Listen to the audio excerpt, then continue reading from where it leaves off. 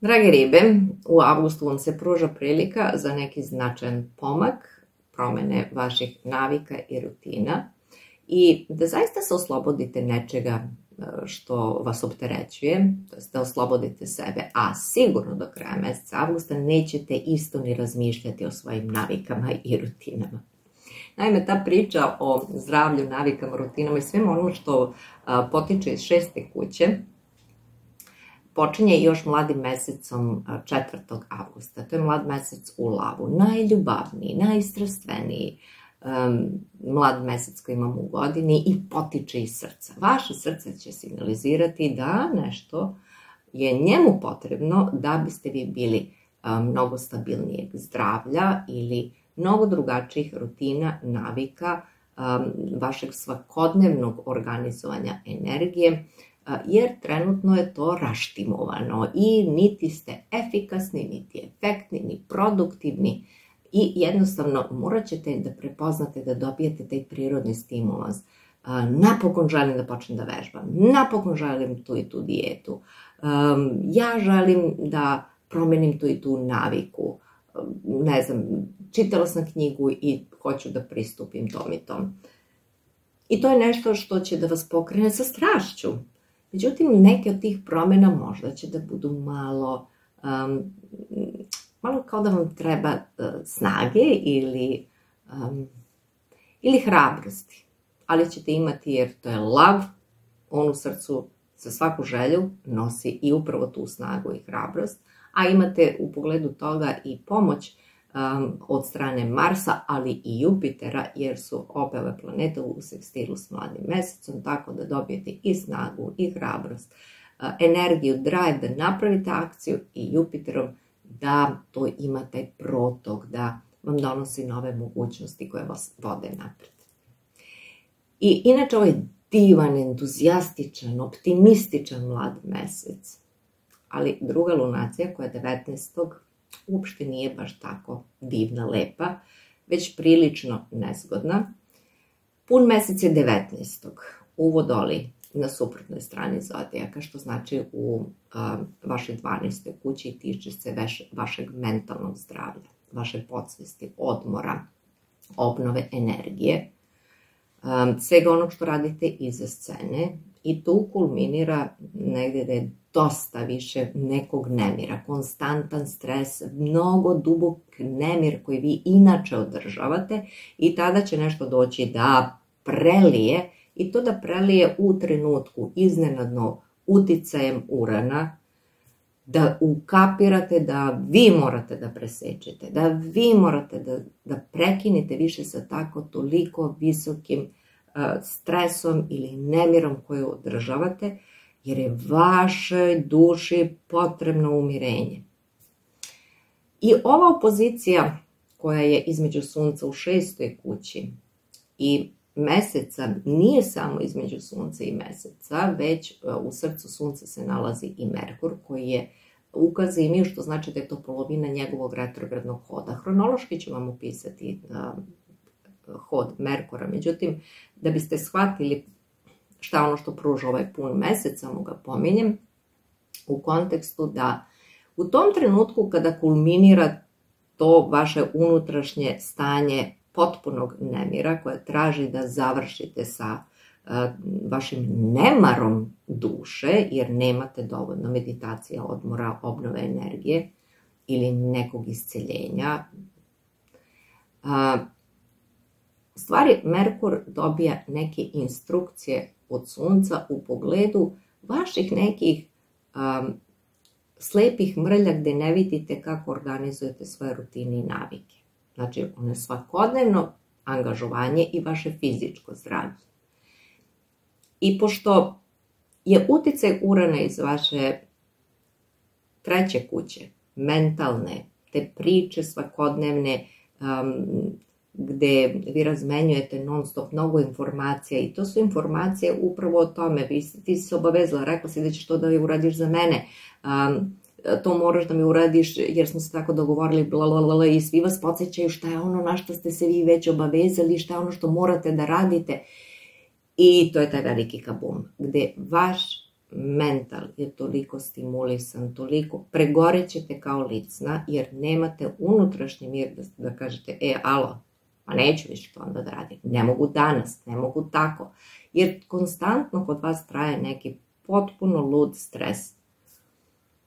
I nemojte uopšte, pošto je Merkur uh, u srcu sunca i u retrogradnom hodu, nikako nećete imati komunikaciju sa spoljnim svetom i sa svim onim što se dešava, da tada raspravljate tu spoljnu priču, to znajte da uopšte nećete niti vi da razumete šta vam se priča, niti ono što, da, da vas čuju drugi sa onim što imate da kažete. Povucite se unutar sebe i slušajte poruku Merkura.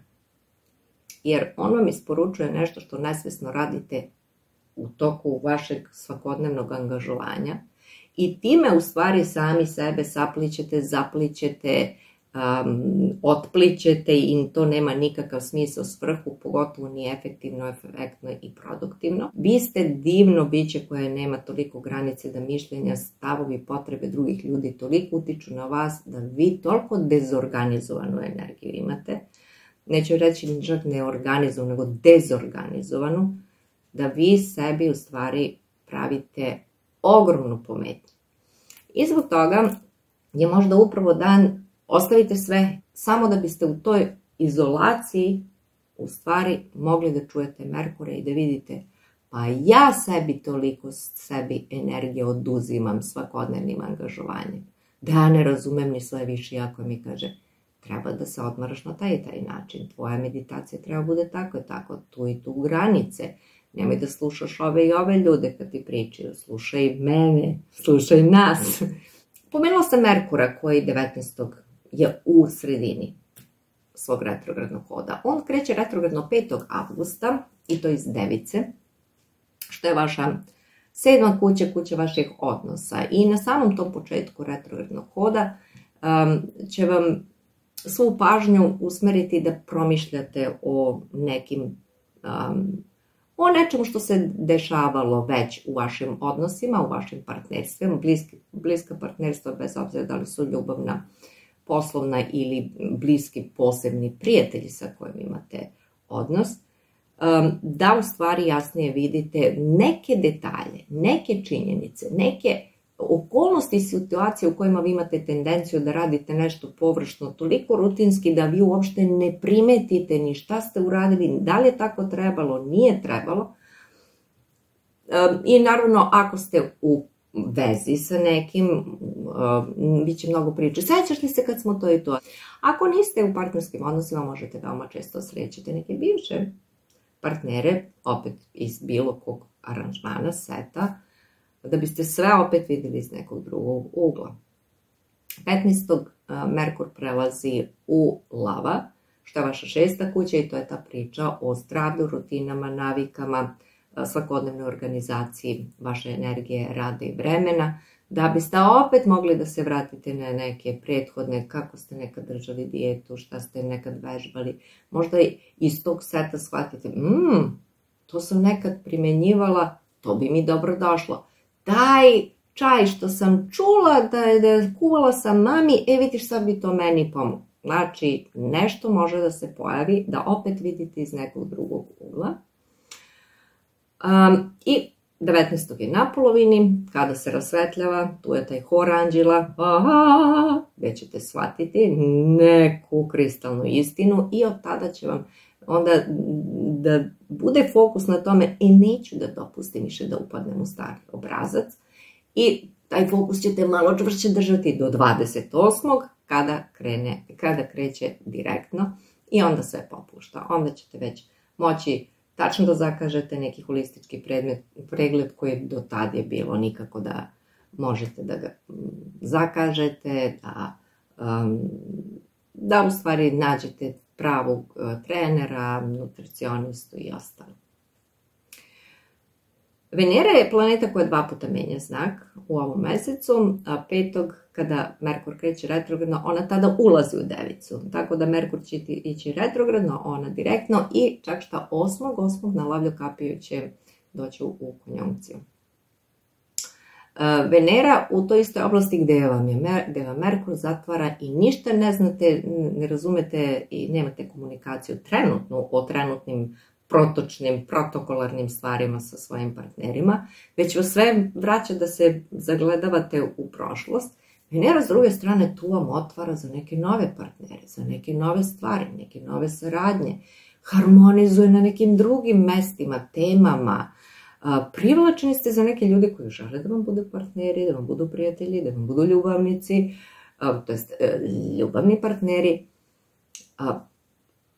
Čudno, onako se dešava i naravno pratite ovaj deo koji vam donosi proto, pošto može da vam donesi i novac preko nekih partnera i neka posebna otvaranja i za klijente i za publiku, ako ste u tim nekim aranžmanima.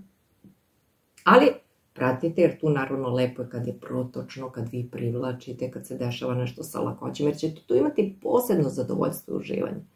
Ali nemojte da izgubite iz vida ovo što vam donosi Merkur u toj oblasti zato što ima zajedničku poentu i toga ćete biti svesni kad se budu sreli 8.8. Takođe tu može da se pojavi neka lepa vest koja vam dolazi od partnera, koju čujete od njega. Ili možete da sretnete neku osobu iz prošlosti i da dođe do nekog izmirenja. Ako ste nekad se razišli sa nekom gorčinom, može doći i da imate taj drugačiji pogled i da shvatite zašto smo se mi svađali. Ali, kažem, vidjet ćete tu poentu tog nečeg, da ima neki presek i da je to neka bitna informacija za vas. Osim ove osnovne priče energetskog protoka, u mesecu avgustu, sredinom, tačnije 14. Merkur, e, oprostite, Mars će biti u konjunkciji sa Jupiterom. I to je konjunkcija koja se dešava na svake dve godine, ali u blizancima nije bilo od 1989. godine.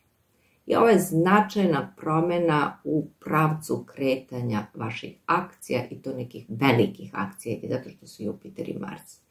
I to vam donosi čak što neku liniju i prosperiteta i potencijalnog izobilja. Ali um, to je priča koju ostavljam za moje članstvo um, i u videu koji je za vas, uh, kao i za svaki ostali znak, uh, je dodatna astrološka priča. Međutim, ovo vam pominjem zbog toga što to rezultira time da uh, se nastavlja i proizilazi time da obe planete će biti u kvadrantu sa Saturnom. Međutim, mnogo je značajniji kvadrant koji stvaraju Jupiter i Saturn, jer su ovo dve planete koje su započele nov ciklus 2020. godine i svi znamo da tada je svet prestao da postoji na način na koji je bio do tada I ovo je prva tačka provere realnosti dokle smo stigli. I ovo je, znači, ta jedna priča u protoku koja je povezana i koja veoma bitno utiče na nas i kolektivno, i individualno. Ako želite neki znači, dublji pregled svega ovoga, um, sve ove astrološke priče, uh, možete posetiti moje članstvo Viši nivo ili isti takav video koji sadrži ne samo astrologiju, već pored astrologije i anđelske poruke, anđelsku analizu, možete pronaći i na moje Patreon stranici. Tako da, ja vam želim svako dobro u mesecu augustu.